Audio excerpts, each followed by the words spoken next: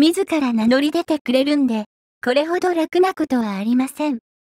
皆様、いつもありがとうございます。非いずる国 TV のお時間です。今回のお題は、名指しされてないのに反論についてです。日本国内に暗躍する親中グループなどに対し、先日、米国から指摘があったわけですが、その中でも沖縄の新聞社である沖縄タイムス側の主張をご覧くださいませ。米有力シンクタンク戦略国際問題研究所 CSIS がまとめた日本における中国の影響力と題した報告書に中国政府が沖縄の新聞に資金提供し影響力を及ぼしているとの誤った記述が含まれていることが分かった政府の審議会委員などを務める日本人研究者の発言で研究者は誤解を招きかねない表現になった。中国が沖縄の新聞に資金提供しているという根拠や認識はないと説明した。報告書は7月23日に公表された。米国務省でプロパガンダ対策を担うグローバルエンゲージメントセンターの支援でコロンビア大教授などを歴任した国際政治学者のデビュー・スチュワート氏が専門家40人のインタビューなど2年間に及ぶ調査結果をまとめた。スチュワート氏はメディアを通した中国の影響力行使の最も重要な標的はおそらく沖縄だろうと記述。慶応大の細谷雄一教授国際政治学の発言として中国は日本に影響を及ぼすため間接的な手法を採用している。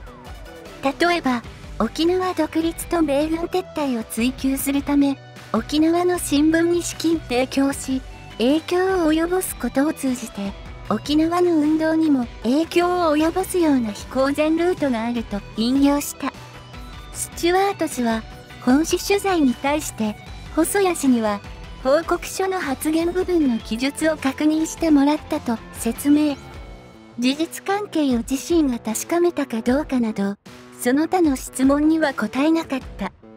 細谷氏は本誌に対し中国が大きな予算を使って対日世論工作を展開していて米軍基地がある沖縄が主戦場なのはよく知られた事実だが手法はあくまで間接的だと述べた。CSIS にはよりニュアンスが伝わる形での修正を求めたという沖縄タイムス社は本社が中国政府から資金提供を受けている事実はない。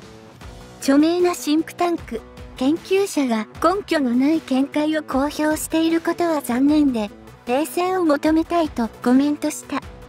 との内容です。この沖縄タイムス米シンクタンクはあくまでも新聞社を特定せずに沖縄の新聞としか報告してなくて沖縄には他にもいくつかの新聞社があるんですがまるでうちのことを言ってると自白してるんでしょうか。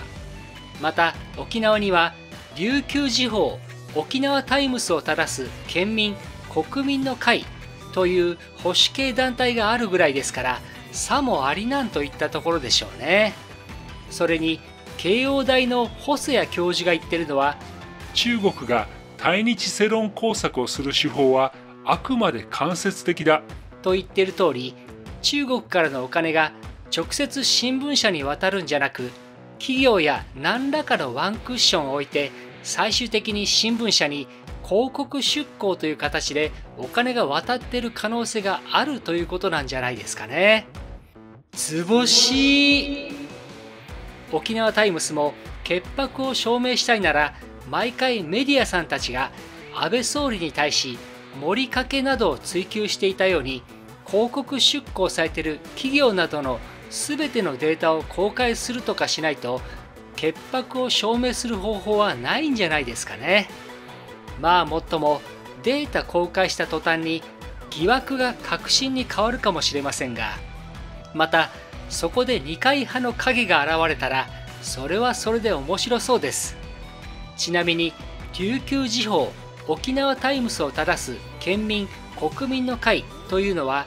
中国に沖縄の領土が狙われているという危機感を持つ沖縄県民らによって設立され琉球時報及び沖縄タイムスの2紙を沖縄と本土の分断を画策し変更や捏造を平気で行う諸悪の根源と位置づけ漁師の報道体質に対する是正の要求を活動目的に挙げている市民団体ということです。ほんとこうやって日本を取り戻そうとしている人たちは応援したいですよね。話は変わりますが本日の終戦の日靖国神社への参拝はやはり残念ながら安倍総理は玉串料の奉納だけで終わりましたね。ただし昨年とは違って萩生田文科省や江藤氏高市氏小泉氏など4人の閣僚が参拝できたのは少しの進展と捉えるしかありませんその中でも江藤領土問題担当省がまたもや記者からのくだらない質問に対し我々の国の行事として異例申し上げた中国や韓国から言われることではないはずだ。そういう質問の方が異常だ。こういうことを70何年間続けてもしようがないのではないか。と改めて発言されていましたが土地狂った質問がある限りは明確に反論し続けて行動しないといけませんね。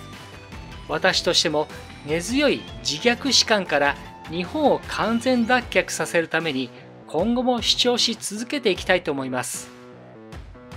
さて今回は米国から名指しされていないのに自ら名乗り出るという珍事でしたがいかがだったでしょうか？それにしてもどのメディアも鵜呑みにせず客観的に見るのも大変ですね。では改めてコメントやチャンネル登録高評価もよろしくお願いいたします。また今夜8時からの初のライブ配信も見ていただければ大変嬉しく思います。以上いろんな意味で今沖縄は暑いですね。